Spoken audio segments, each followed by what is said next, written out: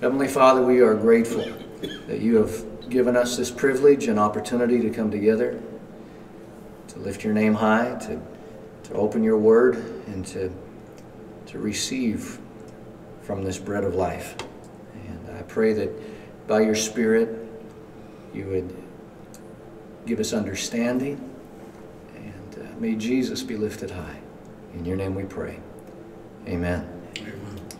Ezra chapter 5 is where we are heading now.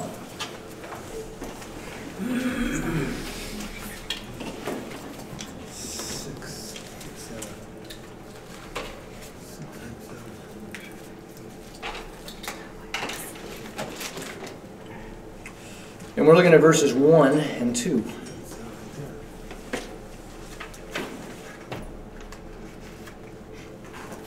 Now the prophets Haggai and Zechariah, the son of Iddo, prophesied to the Jews who were in Judah and Jerusalem in the, in the name of the God of Israel who was over them. Then Zerubbabel, the son of Shealtiel, and Jeshua, the son of Jozadak, arose and began to rebuild the house of God that is in Jerusalem. And the prophets of God were with them, supporting them.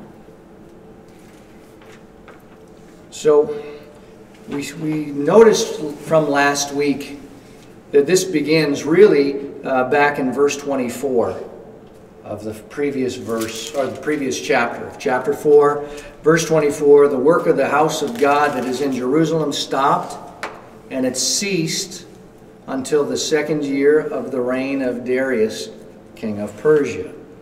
Now, keeping that in mind that this is Darius, different than the Darius of Daniel. All right? Important for us to realize this. Daniel chapter 6 is Darius the Mede with Daniel in the lion's den. In this instance, this is Darius that is much later than that first Darius. All right? So we had seen last week that there are a lot of guys that ruled that had the same names. You just put a one or a two or a three after it to say this is the first or the second or the great or um, whatever.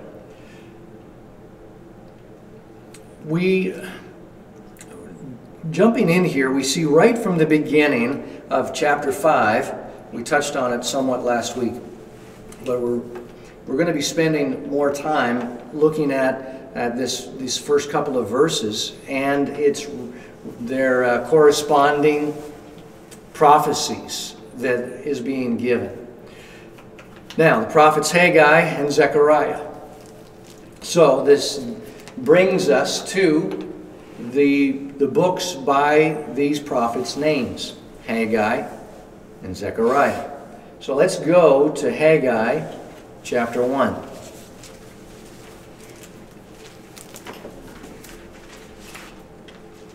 Uh, easy way to find these is if you know where Matthew is, go backwards two books you're at Zechariah.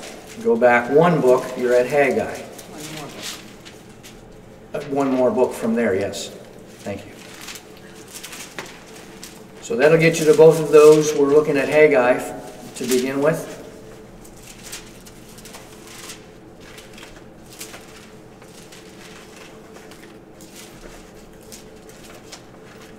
And I want us to see a bit of the the uh, rundown for time timeline that's going on here.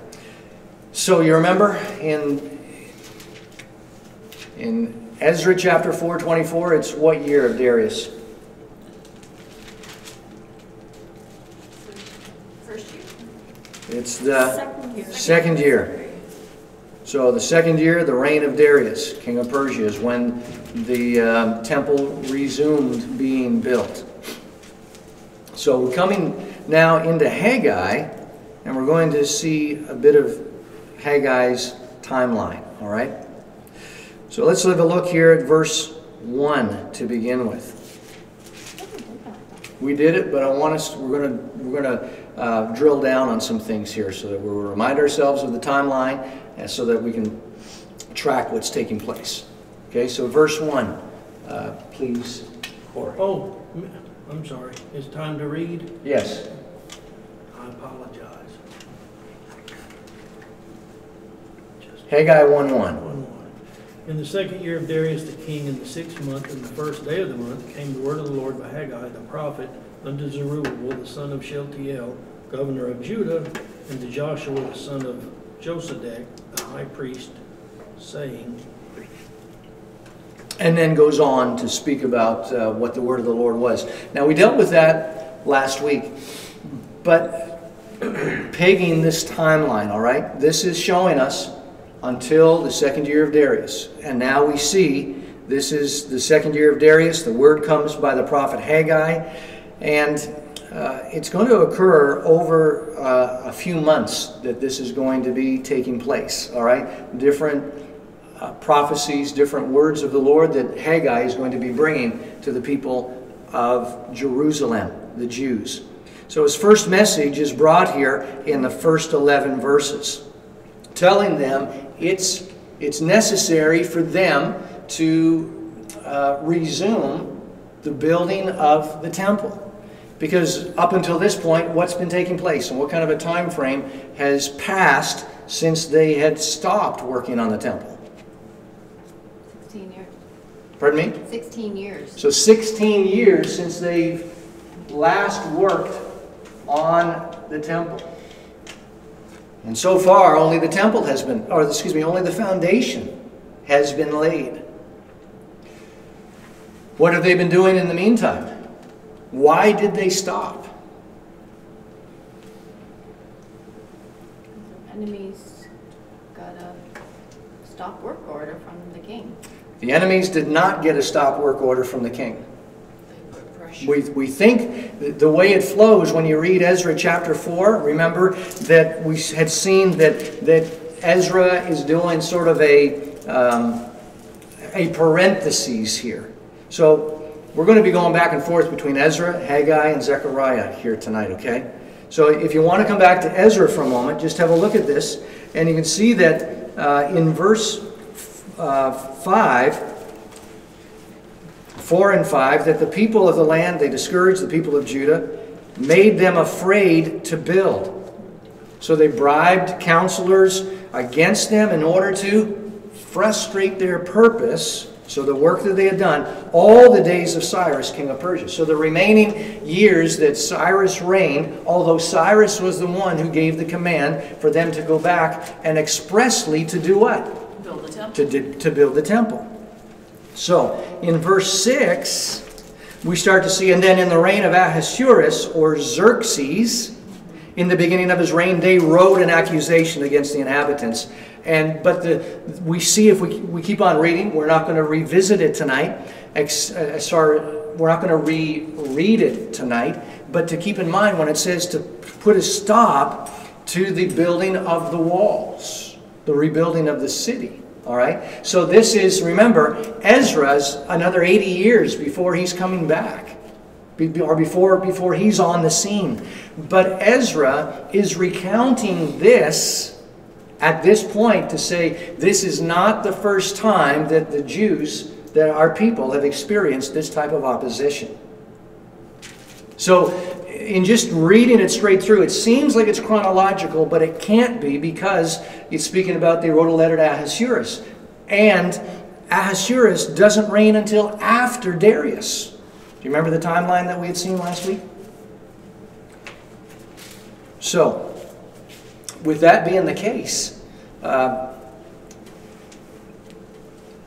verses 6 through, through 23 is, is one of these. It's, so verse 6 to verse 23, it's in parentheses because it fits the theme of what's going on here, but it's not the chronology of what's going on. So in here you've got, uh, we're just going to make it easy uh, Xerxes, which is Ahasuerus, if you're looking, if your translation has that. But he doesn't come until after Darius. Uh, we have Cyrus, then Darius, then we've got Xerxes.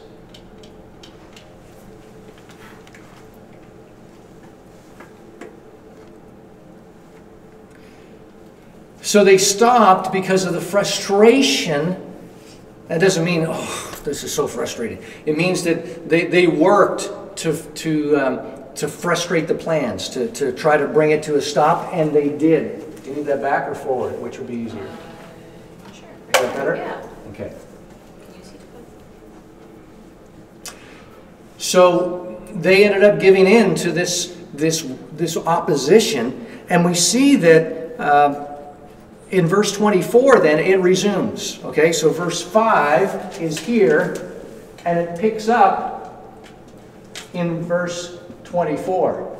So if you took out, if you ignored verses 6 to 23 while you're reading consecutively, you're going to get the flow of the time frame. But he inserts it there because of the, the similarities, of the parallels of things that took place then and what was going on when Ezra came back for the purpose of starting to rebuild the walls, and it was frustrated by a decree of, the, of Darius, and um, or excuse me, not Darius, but of, of Xerxes, and then Nehemiah is successful in getting a decree from Artaxerxes, who's here.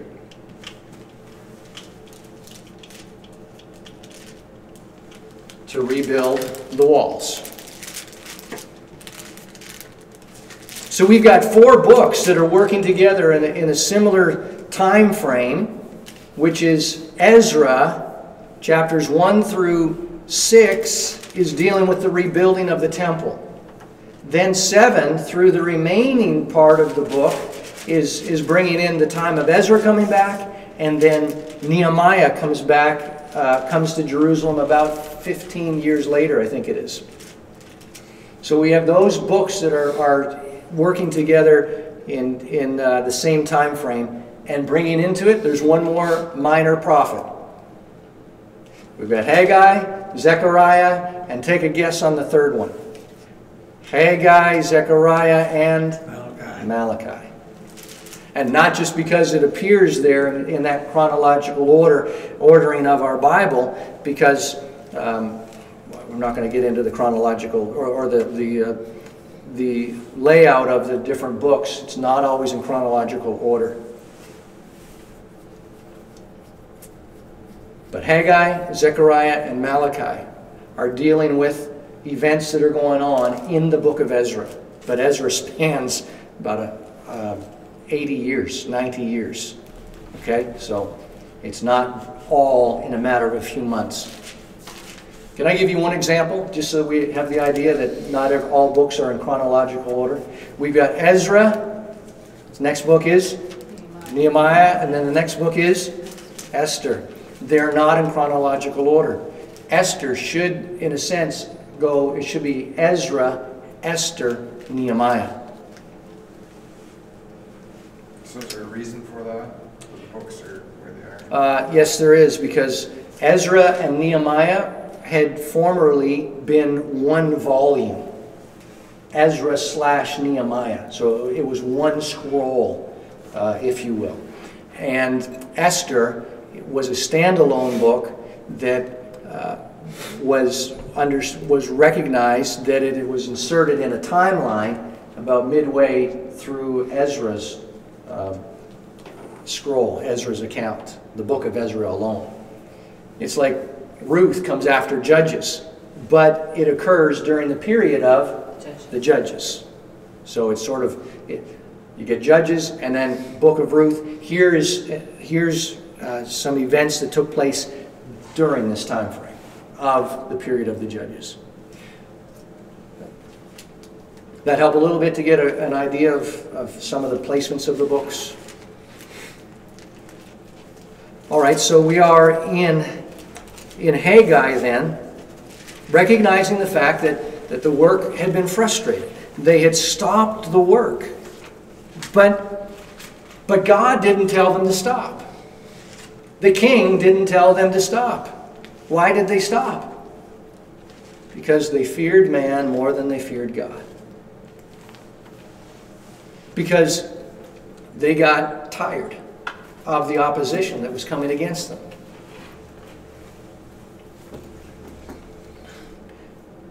God expressly set sent them back for the purpose of rebuilding the temple. And they were excited to do so, weren't they? The, the sound that they brought up, the shout, when the, the foundation had been laid, was so loud that people all around heard them. Well, their enemies rose up against them. They ceased work on the temple. And they went about their business because now they're in Jerusalem. Well, they're not about to go back to Persia because I mean, it just it doesn't make sense. We're home now. Um, we'll get surely sometime the temple will be built, but we'll we'll see. You know, sort of that I kind of an idea. But the Lord rebukes them because for 16 years the temple has been laying without any activity, but they've been going about their business as though there's no problem, as though there's no issue going on. And so the Lord says it's not a time for you to be building and living in your paneled houses while the house of the Lord lies in ruins. And because you've, you, have you have gotten the wrong uh, sequence of events and the wrong um, pursuit, that you go about your business and you eat, but you're hungry. You, you fill your, your purses, your bank accounts, but they're empty. You plant, uh, but there's, there's nothing to harvest. Everything is, so this is Haggai, all right? This is Haggai's rebuke to them. So this is uh, chapters, excuse me, verses 1 through 11. That's the first message that was brought to them. And then we're going to see here in verses 12 through 15, Haggai 1. Uh, it says that, that um, uh, where are we at here? Look at verse 15. It, it shows us they decided, yes, we're going to respond to the word of the Lord. And verse 15, on the 24th day of the month, in the sixth month in the second year, they began to work.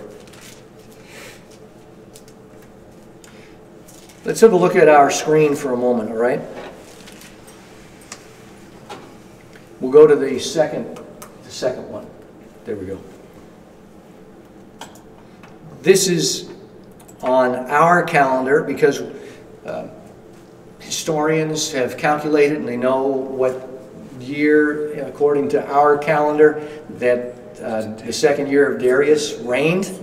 So we can see here that it was August 29th, which corresponds to the, um, the sixth month on the first day of the month. Well, according to, uh, it fell on our calendar on August 29th of the year 520. And then in, in verse 15, when they began or they resumed work on the temple, they did so on the 21st of September. But it's the 24th day of, this, of that sixth month. It's just the way it, it corresponds, correlates to our calendar. Because our calendar doesn't sync up directly with a Jewish calendar. Understand? Yes. Well, they, they resume this work on the temple. Why is it that they begin to, to build if there's still opposition? Uh, we see that there's other dates that are indicated there. We'll come to them in just a, a couple of moments, all right? Why, why did they begin to start work again on the temple if there's still opposition? They were encouraged to. They were encouraged to, all right? Lord encouraged them to do it. Pardon me? The Lord encouraged them to do it. All right, the Lord encouraged them to do it. So there's an, an aspect of that is correct, but there's, there's stronger language to it than just that he encouraged them. So he did encourage, but he, moreover, he, or more so, I should say, he commanded that they build the temple. It's not like, hey, you know what? Now, I'm not minimizing you saying that encouragement, but sometimes we think of encouragement of, hey, come on, you can do it. Yeah, yeah you'll get there. And uh, encouragement is not just nice words. This is more than, than being an encouragement. What, is, what does it mean to encourage? To promote. To promote? All right, anything else? What else comes to mind? To lift up? Uh, What does it mean if you're discouraged? Don't do it. You're down, you don't do it. What is the, what is the word that is in common in both of those? Encourage and discourage. Courage. Courage. So, if you are discouraged, what are you lacking? Courage. If you're being encouraged, what is being grant what, what is being poured into you in a sense? What is what is being boosted? You're empowered. Your courage is being boosted, right? It's but this is not a pep talk for encouragement. This is your courage is found in me, is the Lord says. Not in your enemies around you. So they gave ear to the word of the Lord. It wasn't just some guy comes on the scene, um, Haggai comes on the scene and say, "Hey, listen, guys, you know this isn't right. We need to do something." But that's not what this is. The word of the Lord came to them in the mouth of Haggai, saying, "Thus says the Lord." Not, well, I kind of feel and I have a sense. No, this is, this is what the Lord says. And look at verse 13. Chapter 1 and verse 13. Uh, John, would you read that for us? Nice and loud. 13. Yes.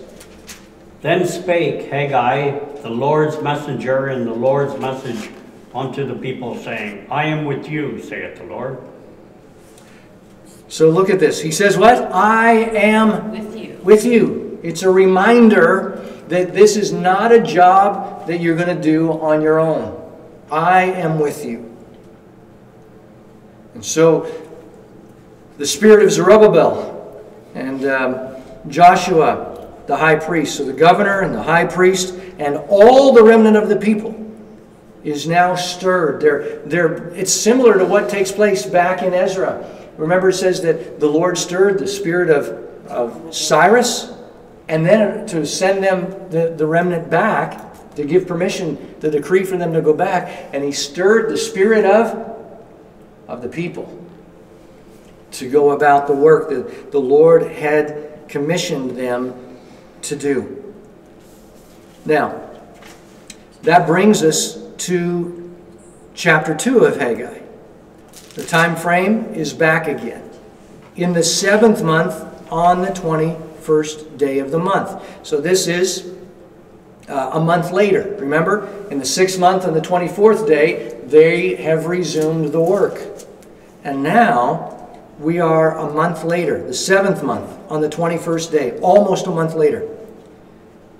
And he says, Encourage Zerubbabel and Joshua and all the people. And here's what he says. Look at verses 3, and we're going to go to, let's go to 6. Uh, let's go to 7.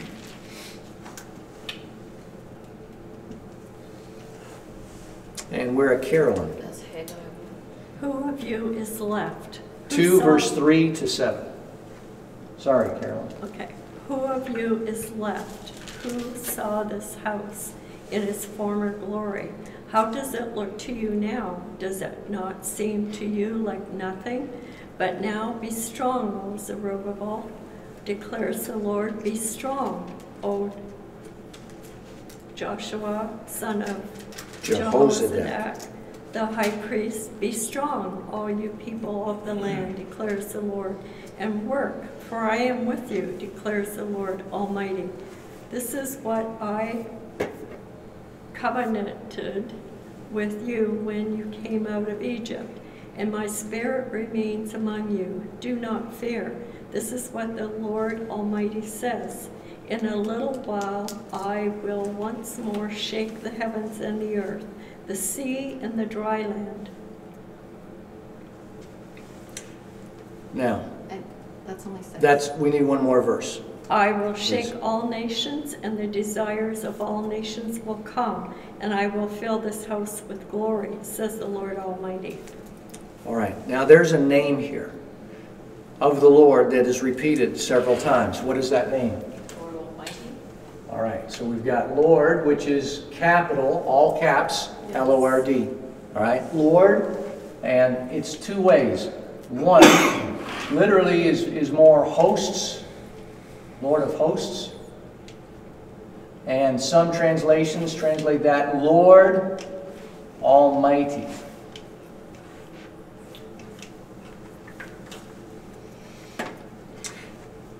Have a look at, at something going on here. Uh,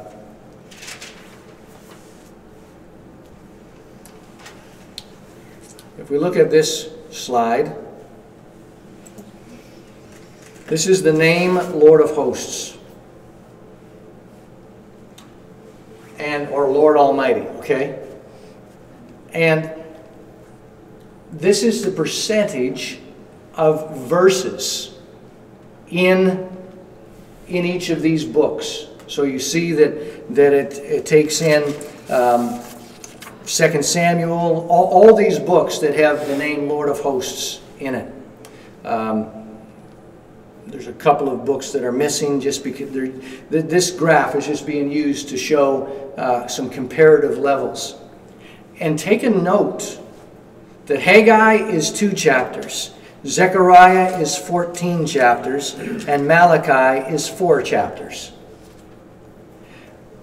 But we've got Isaiah, which is 66 chapters, and only 4%, almost 5, not quite 5% of Isaiah's verses have the name Lord of Hosts. Malachi, Haggai, and Zechariah, they are up there, the, the most usage of this name, Lord of Hosts.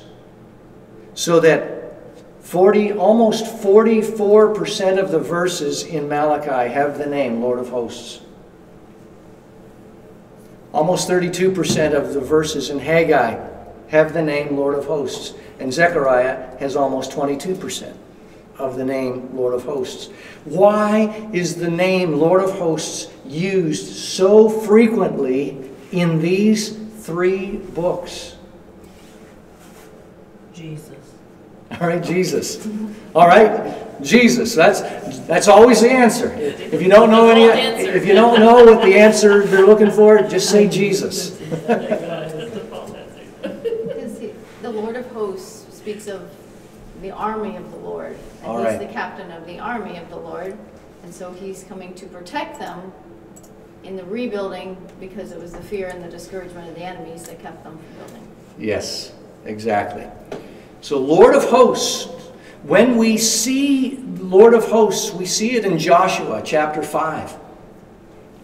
The commander of the Lord's army. And it's Jesus, the pre incarnate Jesus, that is coming there to Joshua as Joshua is contemplating what is next. How do we enter into this land that God had promised to us? And without strategizing, because it's not up to man to strategize, it's not up to our strategies. So he's waiting on the Lord. What do, I, what do we do here? But he doesn't know who this personage is that is approaching him with his sword drawn. But this is Jesus. And he gives the battle plan. Because I guarantee you that there's no way Joshua would have come up with marching around Jericho once a day for six days and seven times on the seventh day and not saying a word. And then on the seventh day, after the seventh time, blow the trumpets and shout to the Lord, for the Lord has given the city. God was giving them the strategy. And what does the Lord tell Joshua over and over again, particularly in the first chapter of Joshua, as he's telling him, This is what I'm going to get you to do. Moses is now dead. You're the new leader, but you're not on your own. What is the thing that he tells him over again? Be of great courage, do not be afraid, for I am with you. Be of good courage. Don't be afraid. Don't be afraid. Don't be afraid. Be of good courage. I am with you.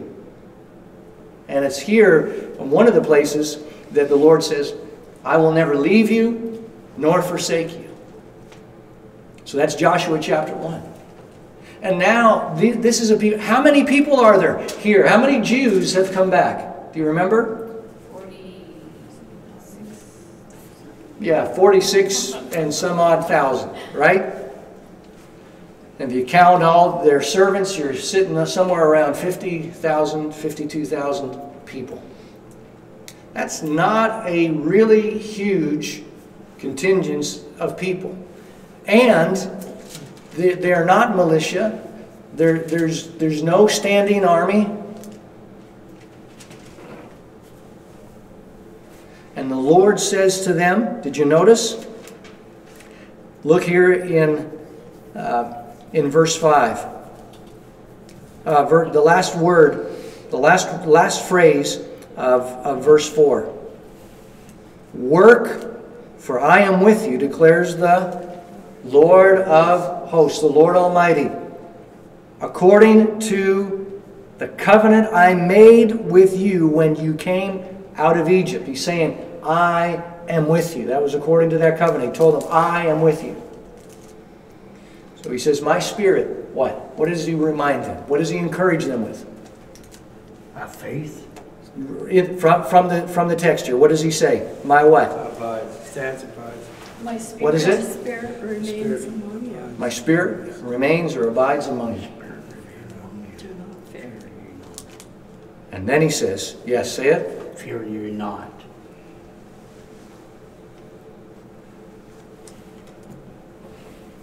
He says, I am doing a work here.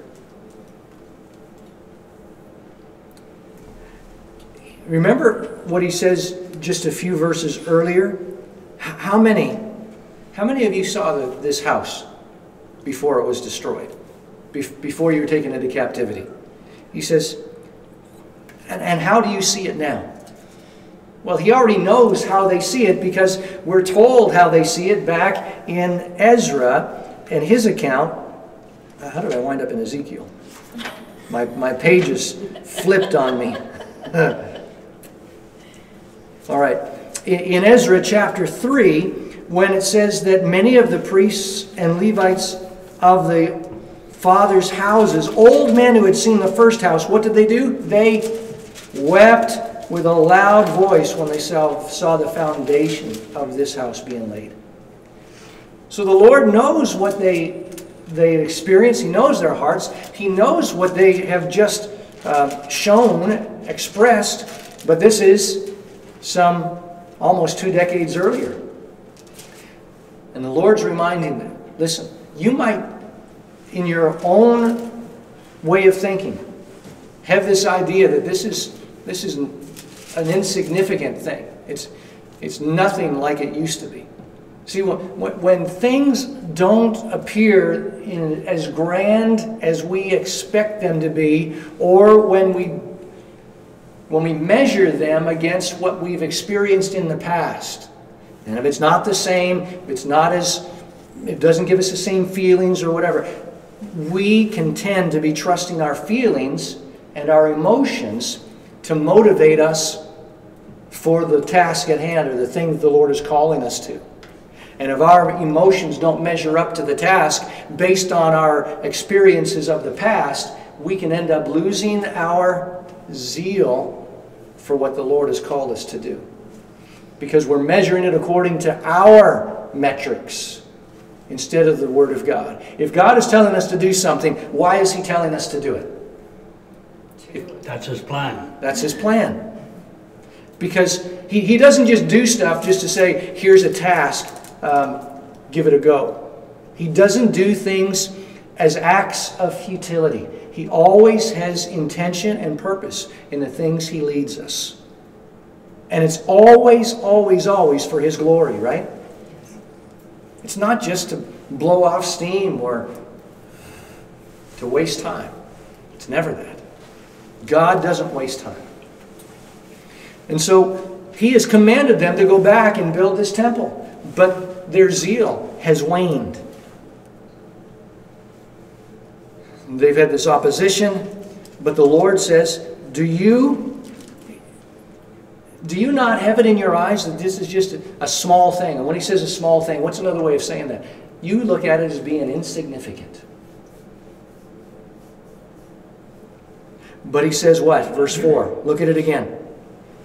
You look at it as being significant, but he tells him, Zerubbabel and Joshua, he tells them what? Be strong. Be strong. He says it twice. Yet now be strong, O Zerubbabel and Joshua. And he says it again Be strong, all you people. Not just the ones, not the twos, but everybody.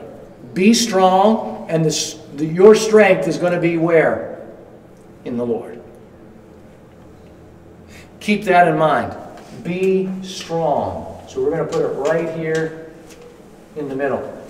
But we got to realize what that strength is. Because as he, as he finishes saying that, he says, Work, for I am with you, says the Lord.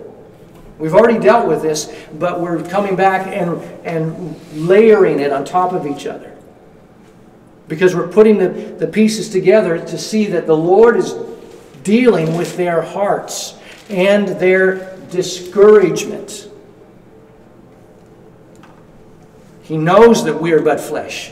And so he reminds us over and over again, gives us his word, repeats it, corrects us, rebukes us, encourages us, teaches us by his word. And he says, listen,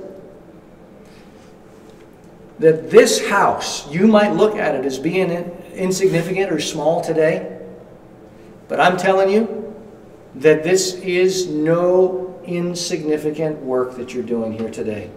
Because to this temple, temple, my glory is going to come.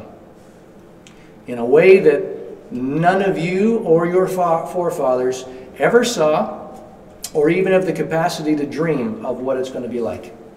Because it will be to this temple that they're in the process of, of working on to rebuild now that what's going to happen. What is it? Jesus is going to show up. Jesus is going to show up because this is what year?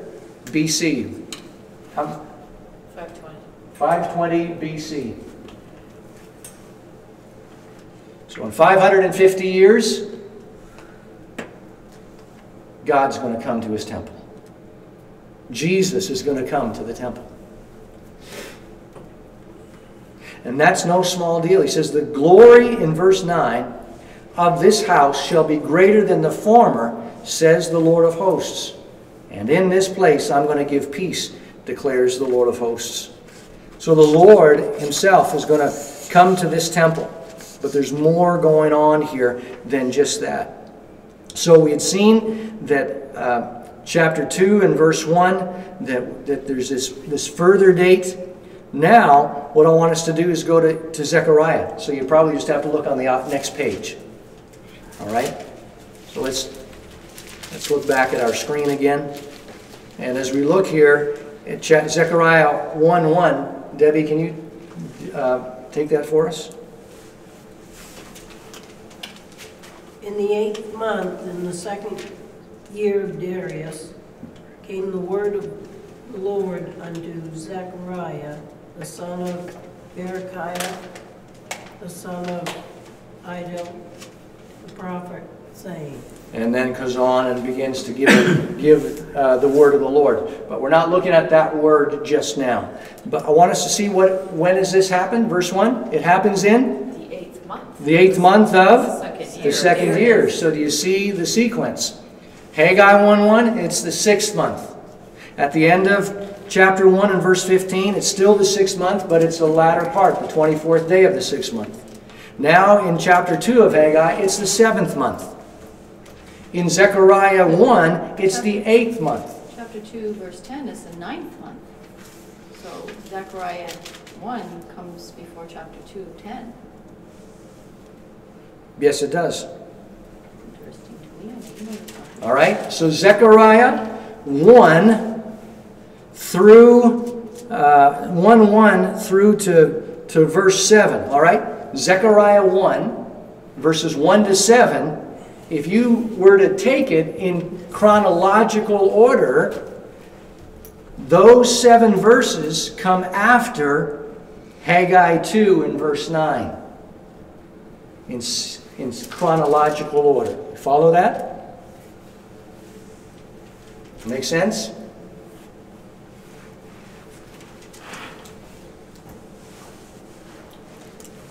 So if you have a look at our screen, you see that um, it's using our dates, all right? So on, in August, Haggai's first message in, in Haggai 1, 1 to 11. In September, Haggai, the last three verses of Haggai, the temple is resuming. Then Haggai has a second message, October 17th. And then Zechariah, verses 1 through, uh, through did I say 7? 1 through 7? 1 through 6 is, um, is Zechariah's ministry has begun. And so he's giving his first utterance. This is what the Lord says. And then Haggai is going to have yet another word on the 24th day of the ninth month. So the next month after that. And then he'll have a couple of more messages following that point. Haggai will be, and then Zechariah is going to resume. Okay, so let's let's just consider for a moment what what the Lord says through Zechariah. In verse 2, the Lord was very angry with your fathers. So say to them, Thus declares the Lord of hosts Return to me, says the Lord of hosts, and I will return to you, says the Lord of hosts. Don't be like your fathers, to whom the former prophet cried out, Thus says the Lord of hosts. You notice how many times? Lord Almighty, Lord of hosts. He says, Return from your evil ways and from your evil deeds. But they did not hear or pay attention to me, declares the Lord. Your fathers, where are they? And the prophets, do they live forever? But my words and my statutes, which I commanded, my, which I commanded my servants the prophets, did they not overtake your fathers? So they repented and said, As the Lord of hosts, there's that name again, purposed to deal with us for our ways and deeds, so has he dwelt with, so has he dealt with us.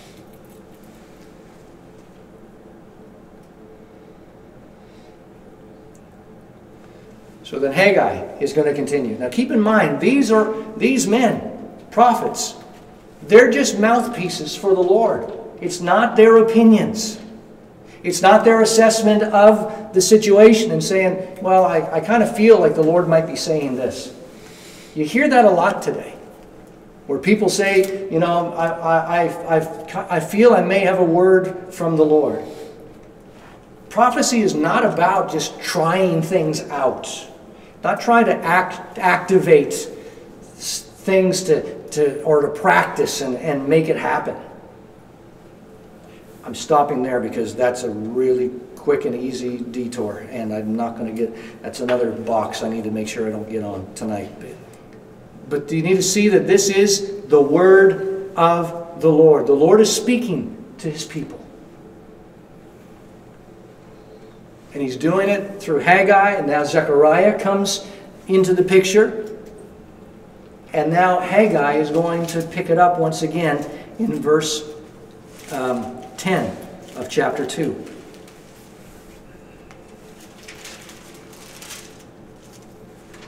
So the word of the Lord comes to him yet again, and then verse 11. Let's read verse 11.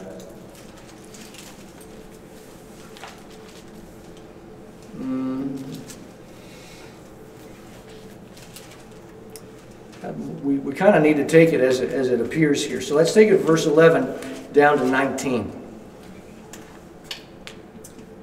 This is what the Lord Almighty says. As the priests, ask the priest what the law says. If someone carries a consecrated meat in the fold of their garment, and that fold touches some bread or stew, some wine, olive oil, or other food, does it become consecrated? The priest answered, No.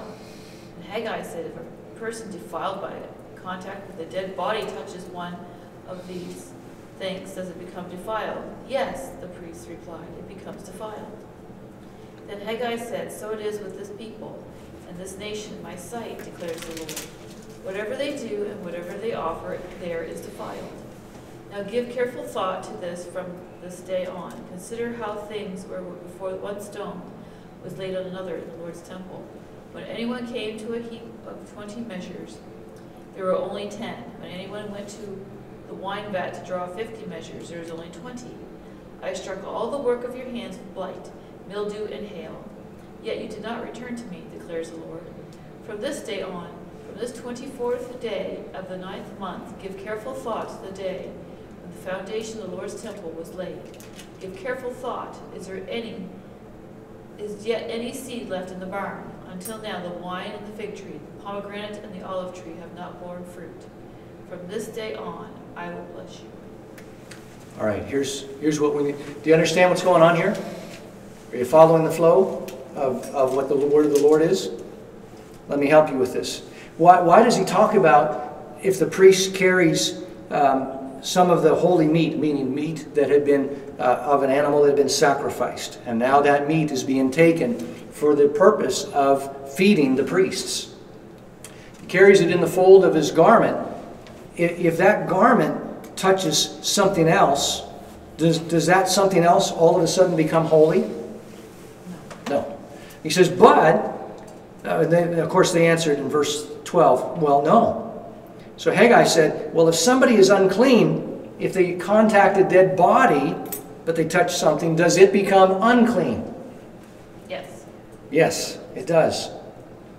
And we can look at um, Numbers chapter 19 deals with that.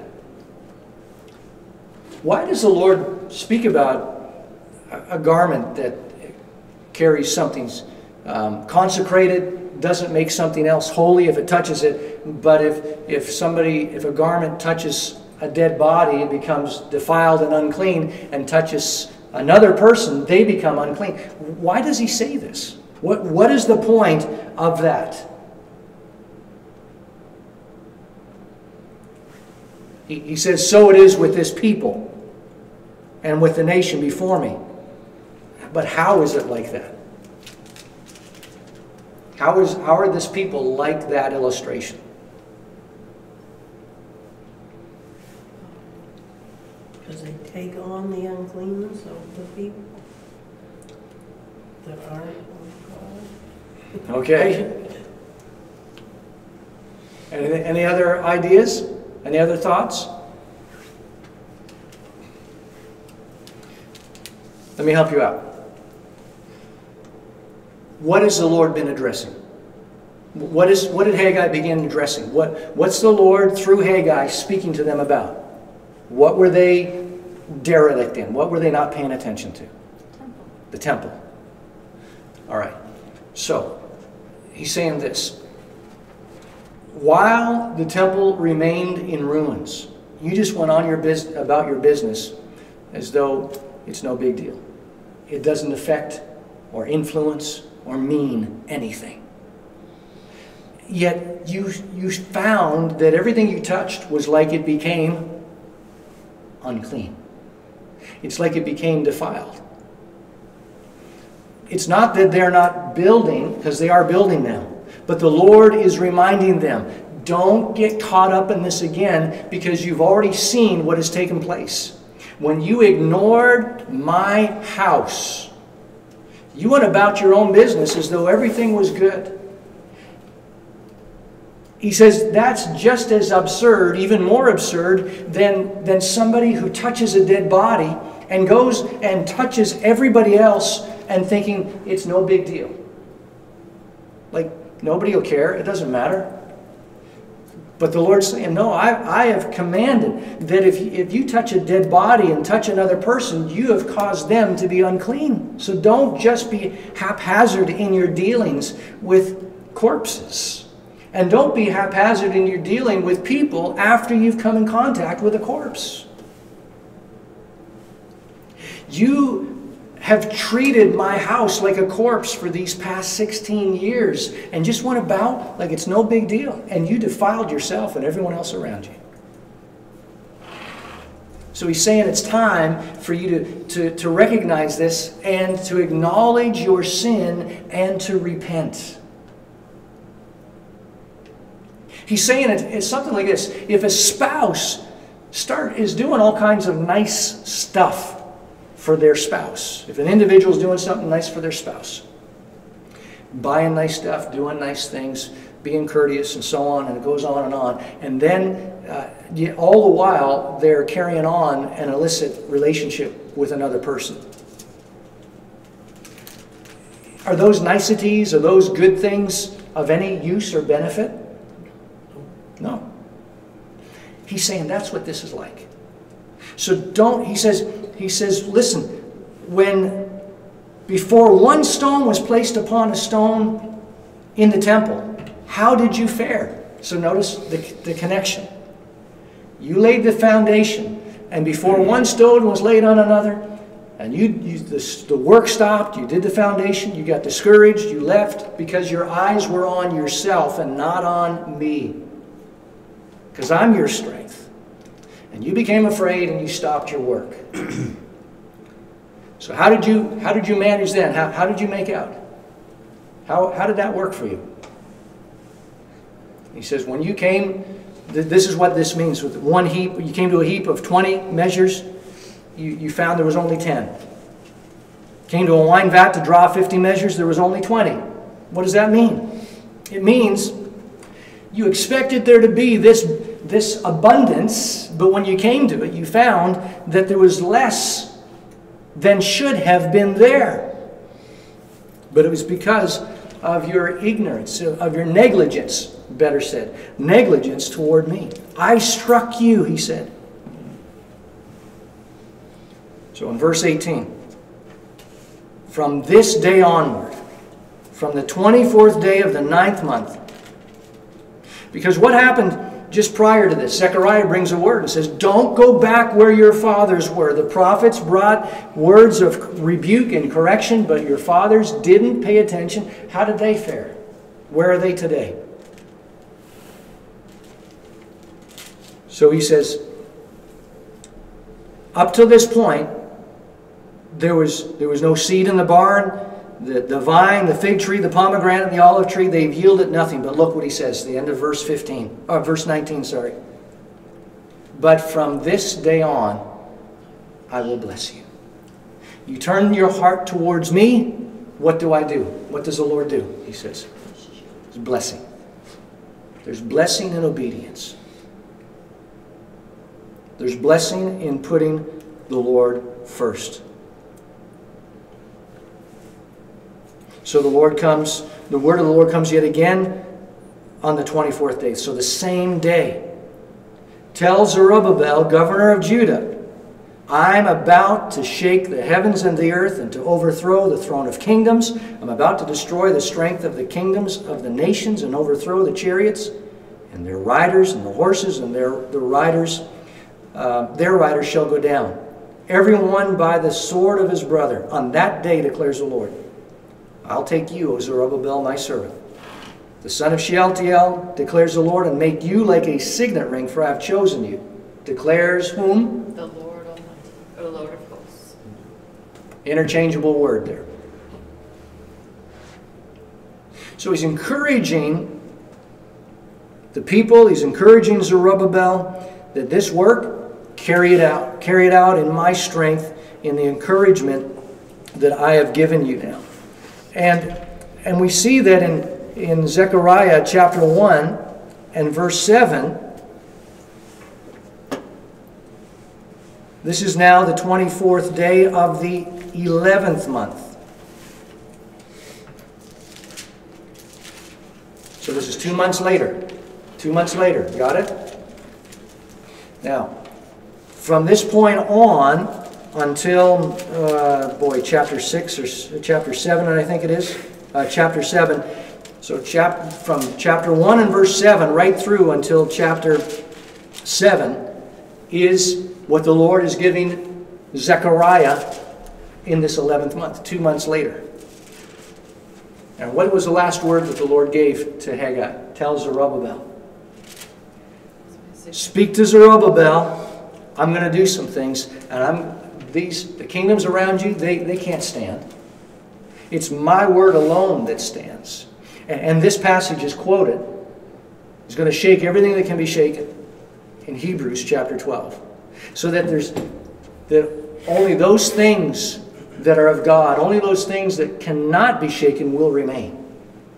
So the things of the Lord and of his Christ, they shall reign, they shall stand.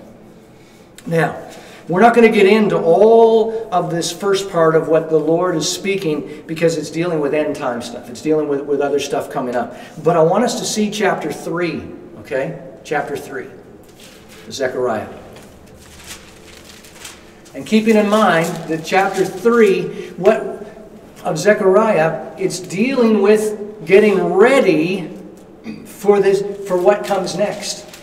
Because if you're building the temple, what's going to take place once the temple is, is built? The resuming of the sacrifice. The reason, um, not quite. Because remember in chapter, in Ezra chapter 2, what did they do? They rebuilt the altar. Was it 2 or 3? Uh, two, I think it was. um, uh, chapter 3, the first part of chapter 3, they rebuilt the altar. So the altar is rebuilt and they've already been, they've been sacrificing. And it was on the same place, uh, the, the same foundation where, or location where the altar had stood previously in front of the temple. So sacrifices have been going on to some degree or another. But now that the temple is, is underway and when the time comes for it to be completed, what's the next thing? Consecration of the temple and, and for the priests then to resume their, in, the, their complete duties within the, the worship of God in, in that context.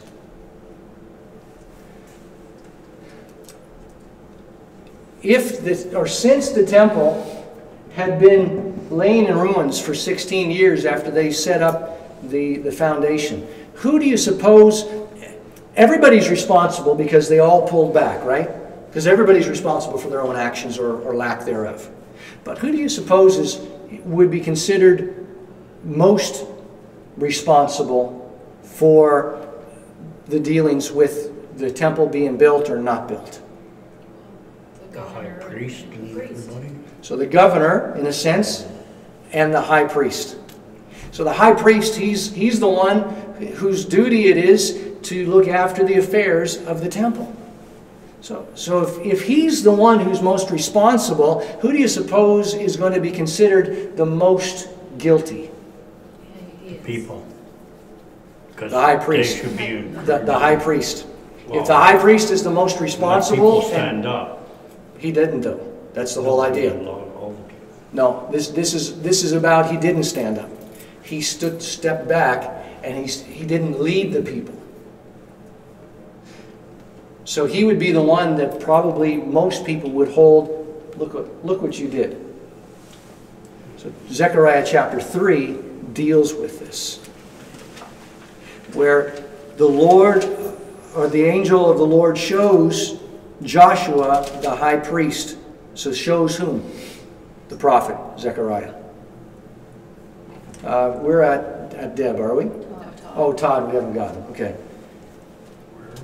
So we're in Zechariah chapter 3. Look at, let's take it 1 through, through 5. Then he showed me Joshua the high priest standing before the angel of the Lord, and Satan standing at his right hand to accuse him. And the Lord said to Satan, The Lord rebuke you, O Satan.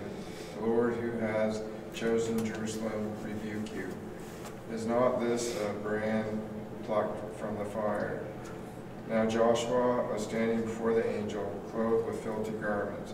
And the angel said to those who were standing before him, Remove the filthy garments from him. And to him he said, Behold, I have taken your iniquity away from you, and I will clothe you with pure vestments. And I said, Let them put a clean turban on his head. So they put a clean turban on his head clothed him with garments. And the angel of the Lord was standing by. So here is Joshua the high priest in a vision to Zechariah, standing, and his, his high priestly garments are what? Dirty. They're, they're more than filthy. The, the word here is used of filled with the worst filth you can imagine of the day.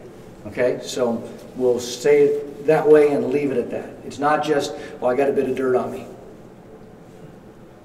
All right? He is a complete mess. And if any garments that somebody has that you don't want to get filled with dirt, and, and we're talking about bodily filth,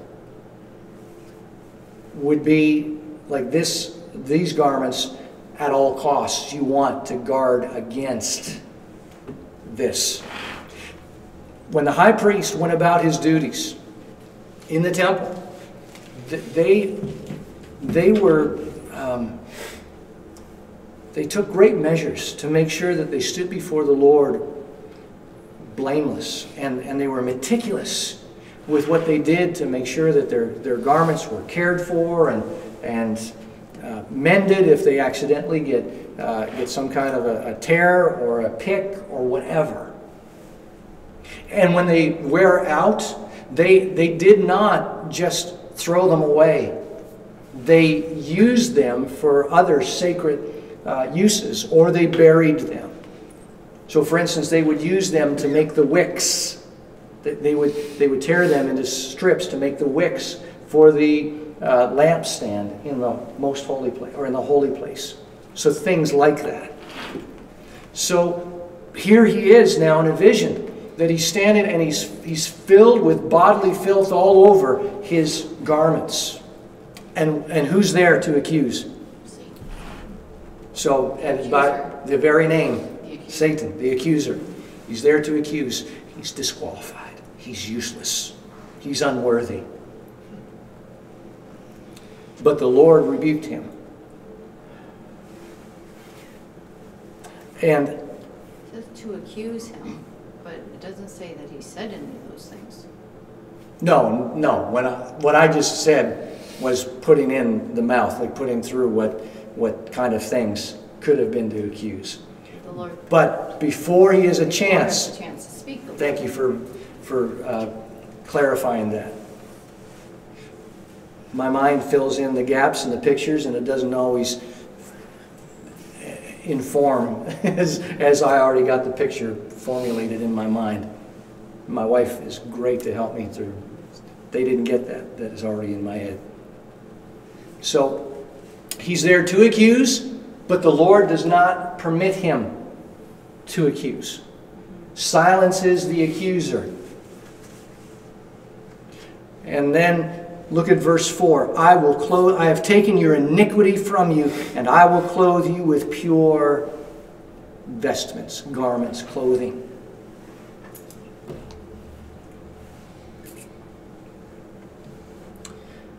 And then we see in in verse 8 Hear now, O Joshua the high priest, you and your friends who sit before you, for they are men who are a sign. Behold, I will bring my servant. The branch. Oh, that's interesting. Where have we heard that before? Isaiah. Isaiah. Where else? So, Isaiah where? 11, verse 1. Where else do we hear it? Jeremiah said it. No longer will they say, um, Thus saith the Lord who brought us up out of Egypt, but they will say, Thus saith the Lord who brought us up out of the north. The branch, that's Jeremiah chapter 23, speaks of the branch who's going to come and bring deliverance. And then we see, uh, we see it again in Jeremiah chapter 33, the branch. And then we'll see it again in um, chapter 6 of Zechariah and verse 12. Have a look. Uh, let's look at verse, uh, verse 8.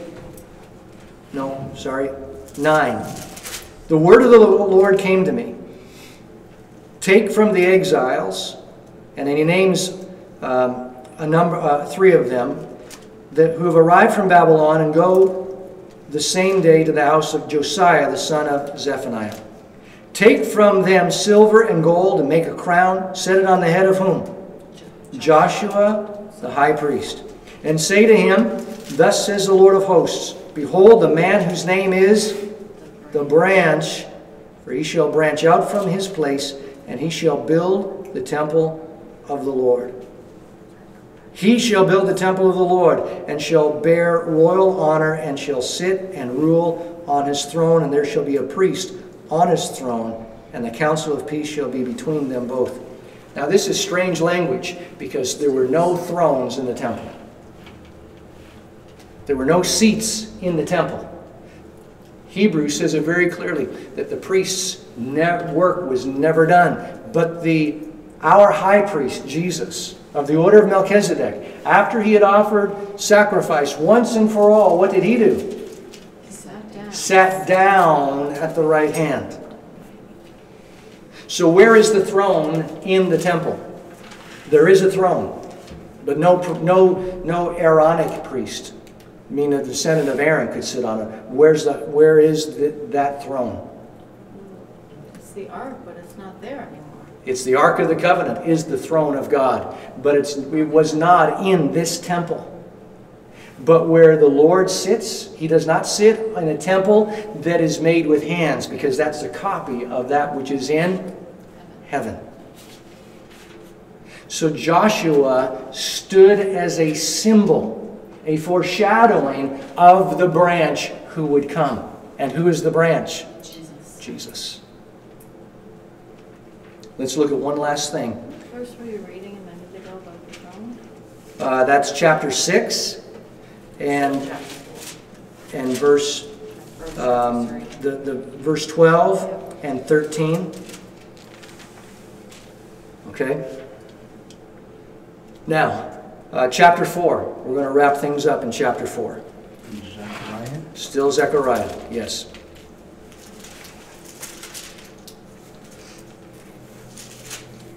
So the angel who had been talking to him and showed him the vision of, of Joshua the high priest shows him again and says, he says, what do you see? Verse 2. Now, let's take it from there. Uh, Corey, will you take us down to verse, let's go to verse 7. Pardon me? I said, I don't get to read? Oh, you didn't. Oh, I'm still right. You get to read. Yes, you do. So no, not me. No, not you. Not yet. I've got two verses for you. Or one, uh, two verses. So Deb, take us to seven, chapter two, chapter four, verse two through seven. And he said to me, What do you see? I said, I see, and behold, a lampstand all of gold with a bowl on the top of it, and seven lamps on it with seven lips on each lamp that are on the top of it. And there are two olives by it, one on the right of the bowl and the other on the left. And I said to the angel who talked with me, What are these, my lord? Then the angel who talked with me answered and said to me, Do you not know what these are? I said, No, my lord. Then he said to me, This is the word of the Lord to Zerubbabel. Not by might, nor by power, but by my spirit, says the Lord of hosts. Who are you, O great mountain? Before Zerubbabel you shall become a plain and he shall bring forward the top stone amidst shouts of grace, grace to it. Hmm. So he's showing him that um, the, the, this is a picture of the glory of the Lord that is there, and that it's you're going to accomplish this. Remember, Haggai's been speaking to him, Zerubbabel, I'm about to shake the heavens, and so on, and he's going to bring to pass the, the building of the temple. And, and he tells him, but it's not by your strength. It's not by your might. He reminds him again. We isolate that. We know that verse fairly well. If you ask people that have been in church for a while, you, if you started saying it's not by, and you start with that, uh, no doubt 80% of, of Christians that have been in the church for, for uh, some time would be able to finish it and say it's not by might, not by power, but by my spirit, says the Lord of hosts. But says the Lord of hosts, the Lord Almighty. There he is again. And but it's not many could not look at that and say, well, what is the context in which that's found? Well, here is that context. And he's saying this temple, God never asks us to do something that we're able to do in our own strength. He never asks us to do anything we can do in our own strength. He always asks us to do that which is required, that we re, that is necessary, that we depend on His strength. Always. Even for what we might estimate to be the most insignificant or mundane things. Because that's what they've considered this temple to be. Do you see this temple? Do, do you see it? How do you see it? Is it not as nothing in your own eyes? Is it not like something insignificant?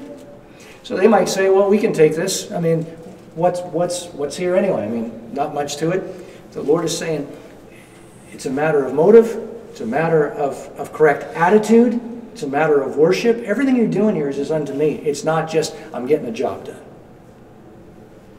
It's for my glory.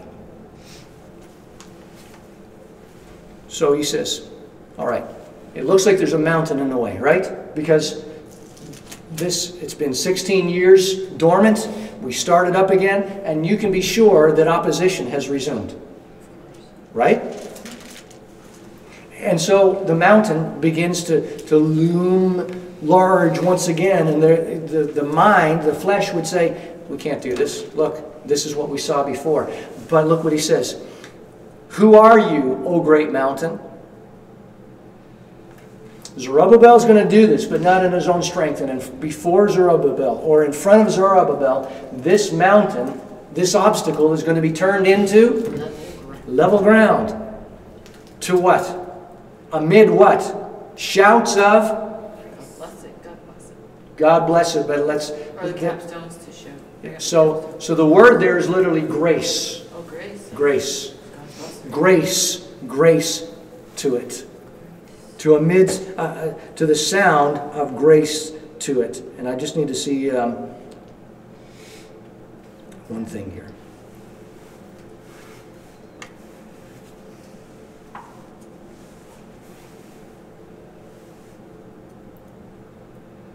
So it's the word hen, the word that, that is, is um, the word translated as grace. Now, God bless it. God's blessing or God's favor is what grace is, results in, right? But it's literally the word to, the, to shouts of grace. God's grace. God's grace is going to carry this to completion. Jesus said to Paul, My what is My grace. is- my grace is sufficient for you, for my strength is made perfect in weakness. Now, could he have just as easily said, um, My God blessed is sufficient for you? Could have, because what God blesses, that's, that's his favor, right? That's what grace is. But when we see shouts of God bless it, God bless it, we don't quite see it in the same way. Not, It loses in English for us. The. The, the translation. intensity, yeah. Like, The say intensity. God bless you when you sneeze, like it just. I But- said it so tight. But God's blessing is grace, right? God's blessing is what grace is. But we sometimes we minimize grace, the idea of grace as well. But let's see it as, as grace. It's, it's Shouts. shouts of grace. And it's not grace, you're going to come down. It's, it's not to the mountain, it's grace. Because of what the Lord is doing. Corey, will you take us um, and bring us 8 through 10? And this is where we're going to finish. Moreover, And I'm going to stop you partway through 10, okay? Because it starts a new thought. moreover, the word of the Lord came unto me, saying, The hands of Zerubbabel have laid the foundation of this house. His hand shall also finish it, and you shall know that the Lord of hosts has sent me unto you. For who has despised the day of small things? For they shall rejoice and shall see the plummet in the hand of Zerubbabel with those seven. We'll stop, okay, so we'll stop there, just at the end of Zerubbabel. We'll stop that because it starts a new thought after that.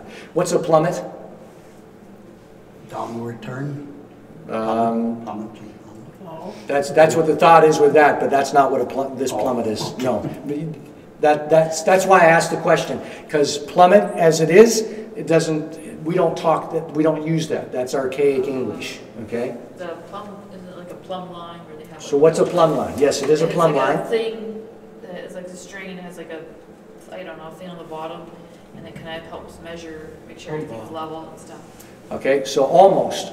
Uh, So you are in the right, you're in the right neighborhood. Uh, It's a weight on the end of a line or a string so that, that it will, once it's, gravity will cause that weight, once it stops swaying, that becomes your vertical straight line.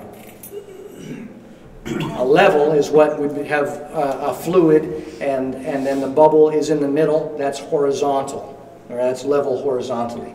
A plumb line measures, um, you want it plumb, straight up and down, vertical, and you want it level. So this is what he's saying. As you're going about, that, that this plumb line is going to be in your hand, they're going to rejoice to see this. And he makes the promise. Who's making the promise? God. Thus saith The Lord. the Lord of hosts. Over and over again. Because they're, they're few in number. They're not mighty, not in their own strength, but the Lord is reminding them and giving them what? Courage. Courage. He says that whoever has despised the day of small things, remember what he said a couple of months earlier through Haggai? He said, How do you see it now? Is it as nothing in your own eyes? Isn't it just a small thing in your own eyes? He says, Yet now be strong. O Zerubbabel, be strong, declares the Lord. Be strong, O Joshua, says the Lord. Be strong, all you people of the land, declares the Lord, for I am with you, declares the Lord of hosts. According to the covenant I made with you when you came out of Egypt. My spirit remains in your midst. My promise, my word, my covenant does not change.